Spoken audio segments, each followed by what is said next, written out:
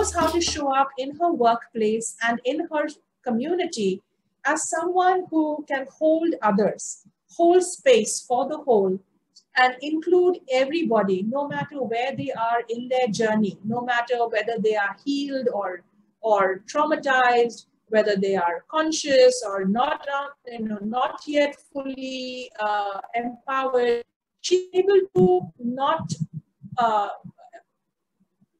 exclude them, but as the heroine.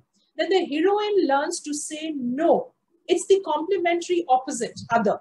The male makes the same journey to the place in a complementary and opposite way than the female and the feminine. So come back to the same place, but from different directions, opposite directions. So the, the heroine has to learn to say no, because as a woman, you're busy saying yes to everything.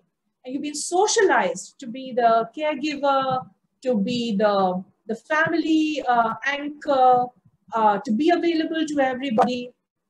And so a woman gets depleted because she doesn't know how to say no. So if a woman has to become a whole person, she has to create healthy boundaries to gain that security for herself and reclaim her power. Okay? That has made the journey and now realizes I'm not all knowing. I don't have all the answers. I'm willing to be curious. I'm willing to learn. and so it's called the wise fool. And then tough love. Tough love is tough is that man inside you, the masculine, that knows how to fight the good fight, knows how to say no, knows how to draw healthy boundaries and not let the self get violated.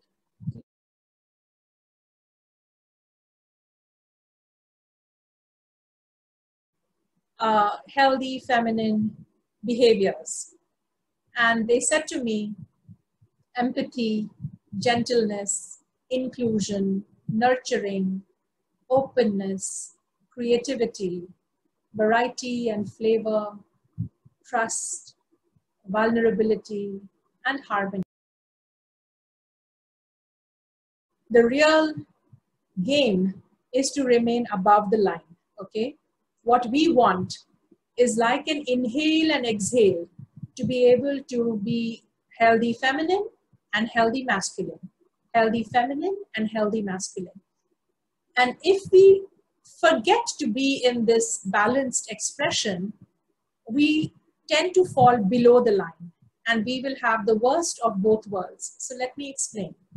If I'm only being feminine in my leadership all the time, I'm only focused on relationship and empathy and compassion, and I forget being masculine, okay?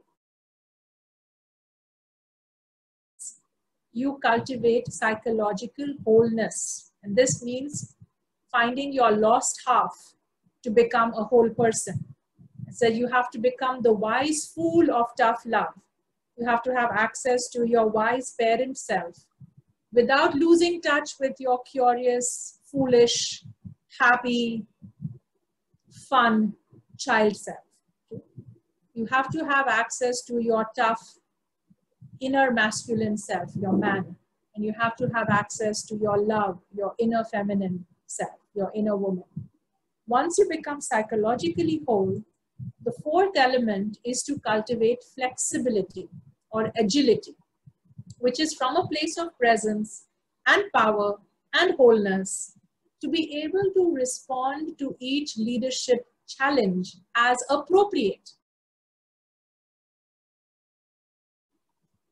Once you have these four elements, then we come to what's called congruence, the fifth element of Shakti leadership. And this is uh, an entirely different workshop actually. We won't have time to go into this, but you all I'm sure do this. This is the idea of knowing your purpose and your values and then living your life on purpose and with values. You line up. The leader you are is the person you are, you are congruent and you express congruence. So these are the five elements of Shakti leadership presence, power, wholeness, flexibility, congruence. And then we put the circle around it, which is the idea of the hero's journey. That all these five elements are such powerful basis of Shakti, of power, that you're going to have to make a hero's journey to claim them, to own them, to deserve them. Power is never given to you on a platter. You have to earn it. And so it takes the heart of a hero. We also say that the inner journey to self mastery is as important as the outer journey to selfless service.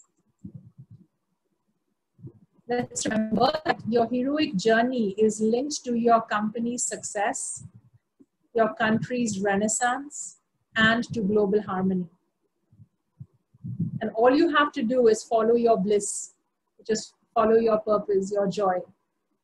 And uh, as Andrew Harvey says, if you can't follow your bliss, follow your heartbreak. What breaks your heart? What is it that you think the world so badly, desperately needs that someone should do something about it? Well, that's yours to do. That is your dharma. That is your purpose. Go and do that. If you can't follow your bliss, follow your heartbreak.